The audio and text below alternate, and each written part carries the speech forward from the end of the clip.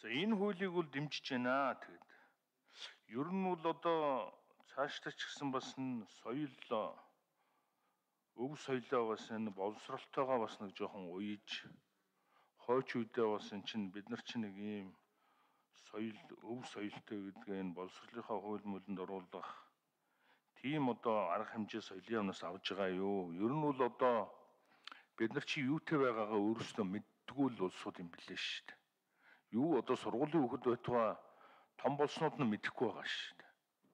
Жишээлбэл одоо энэ жилд орногууд одоо 5 дугаар оюун хутгтын одоо 220 жилийн ой болно.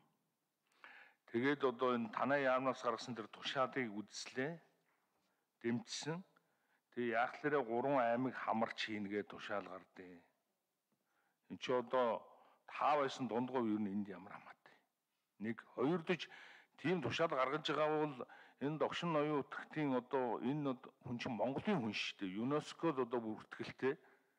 Тэгээ нь Монголын хүний чи одоо Монгол даяар нь сурчлах ийм арга хэмжээг соёлын яам өөрөө зохион байгуулах үүрэгтэй байгаа үстэй. Хөөе сонсож гин үгүй юу? Тийм учраас бол та нар энэ тушаа шийдвэрийг нэг эргэж хараарэ.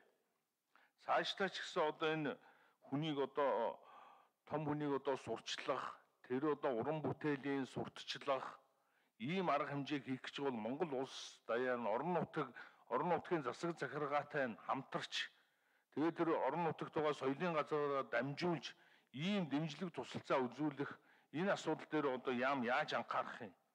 Би одоо өмнө улсын юм хэлий жишээлбэл өмнө одоо танаа яам байхгүй байхад байгаль орчны яамд харьяалагддаг байсан юм шиг байгаа. Тэгээд тэр үед одоо Цэрэн Бат сайд байсан.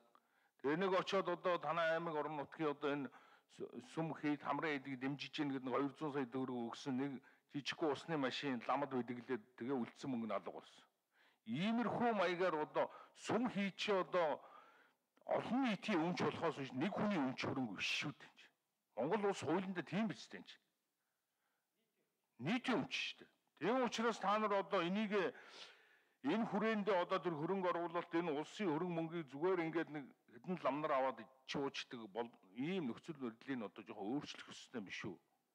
Аймаг орон нутаг дээр хог шороо бүх субодгийн хийдэг энэ аялал жуулчлалыг аль болохоор татахын татахын тулд одоо тэр орон нутгийнх нь газарт одоо аялал жуулчлалын бааз байгуулах гэх зөндөө арга хэмжээ авах гэхлээр байгаль орчны яам тусгай хэрэгцээнд авна гэдээ илэрээд юм яриад идэг.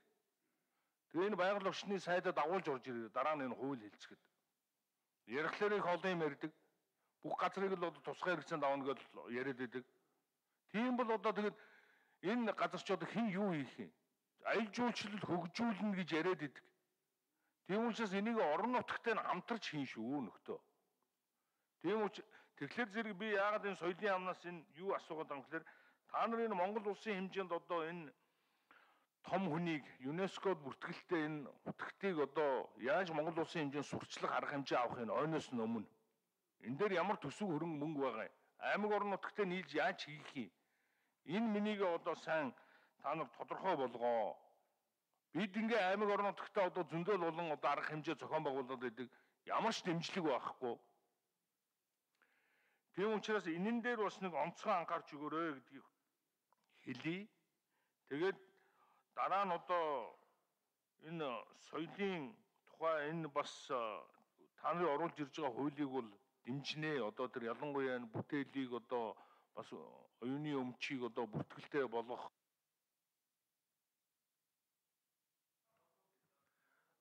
За.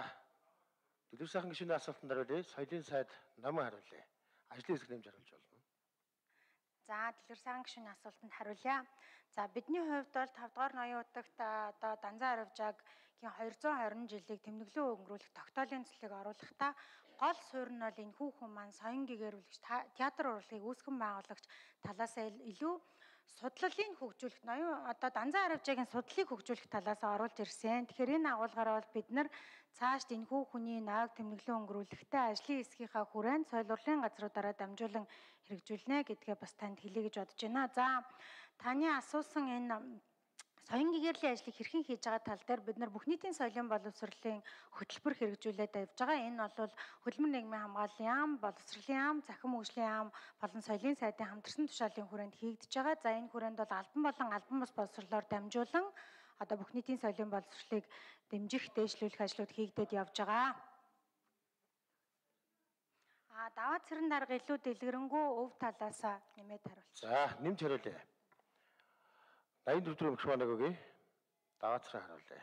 За, 84. Тийм байна. За. За соёлын яамны соёлын бодлогын хэрэгжилтийг зохицуулах газрын дарга дагаацран. За Данзан Аравчгийн ой тэмдэглэлийн өнгөрүүлэлттэй холбоотой нэмэлт мэдээлэл өгье. За энэ ойг тэмдэглэлийн өнгөрүүлэлттэй холбоотой асуудлаар Өмнөгов аймаг, за Дорн юу Дундгов аймаг, Дорногов аймаг, за Говьсөнбөр аймагуудаас тодорхой арга хэмжээг зохион байгуулах саналууд ирсэн. За энэ саналуудыг нэгдсэн зохион байгуулалтанд оруулаад яам дээр ажлын хэсэг зохион байгуулагта тус тус аймагуудын төлөөллийг оруулсан. Жишээлбэл Өмнөгов аймаг дээр бол хийдийг одоо сэргээн засварлахтай тохижуулахтай холбоотой ийм ажлыг хийх санал ирсэн. За мөн Дундгуй аймгийн Адаацэг сумд байдаг сүм хөх хүрдэд бас энэ уран бүтээл зохион байгуулах ийм саналууд ирсэн байна. Энэ саналууд дээр үндэслээд оролцоог нь хангах үүднээс ажлын хэсэгт эдгээр аймгийн төлөөллүүдийг оруулсан байгаа. За энэ одоо үйл ажиллагаа зохион байгуулалт шинжилгээ ухааны академиас мөн санал дүгнэлт гаргуулж авсан байна. За, Дэрэг сайхан гишүүн тодруулж асууя.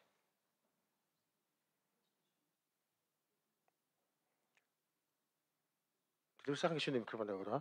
Тодруулга 1 минут.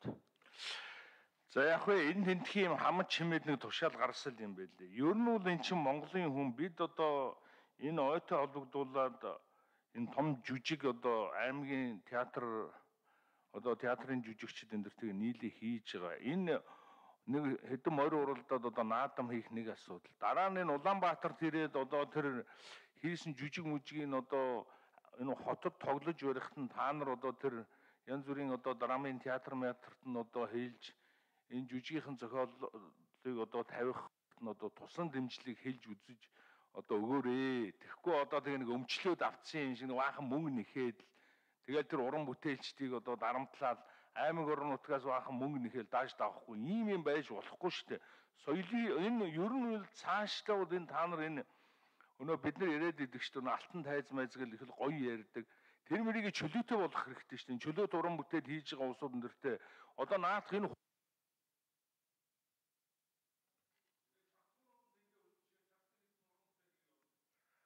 За. Тодруулаад хариулах юм уу? За. За, соёлын сайд номон хариулъя. За энэ хүү данзан хариуцаатай холбоотой асуудлыг ажлын хэсгийн дүгнэлтэрэн дээр суйрлаж шийдвэрүүд нь гаргадаад явна. Би бас өмнө нь хэлсэн бид нар аймаг орон нутгийнхаа өөрсдийн тогтолцоонд байгаа соёл урлагийн газраараа дамжуулж арга хэмжээ үйл ажиллагааг хийгээд явна. Тэгээд энэ энэхүү асуудалтай холбогдолтой бус байгаа учраас би танд ажлын шугамар хариултыг өгье гэж бодож байна. За,